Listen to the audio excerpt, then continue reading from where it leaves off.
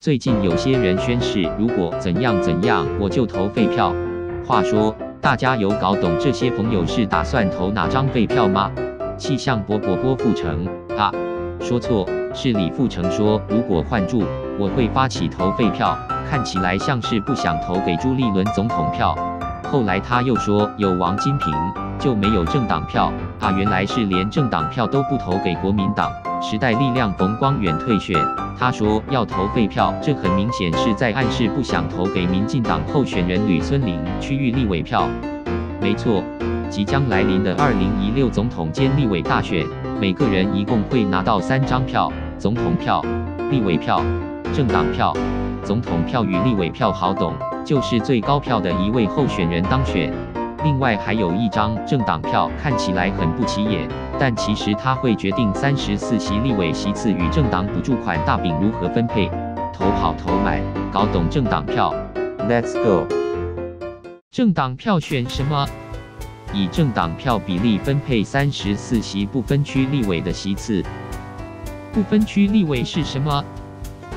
立委分成两种，一种是包含原住民立委在内的区域性立委。另一种就是不分区立委，不分区，顾名思义，这种立委常常负责跨区域议题的质询，或是具有某种专业领域能力，例如外交、国防、经济、财政、医疗专业等，但偶尔也会有点小出锤，变成只听党意的打手。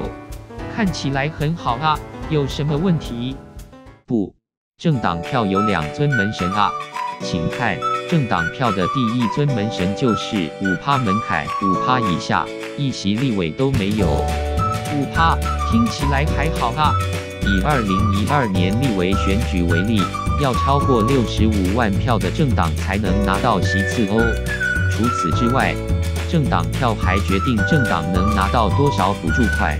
民众每投一票，政党每年可以拿到五十元，但前提是要超过三点五趴的门槛。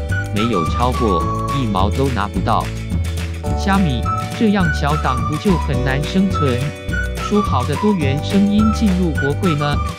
对的，像是日本、法国、德国的门槛就定在零点五至两趴之间，比台湾低很多。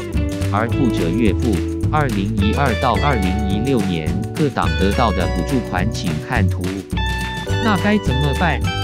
阿草真心推荐用议题选立委，看立委表态，立委出任务，立委投票指南，看立院即时动态。卧草国会无双，公都盟。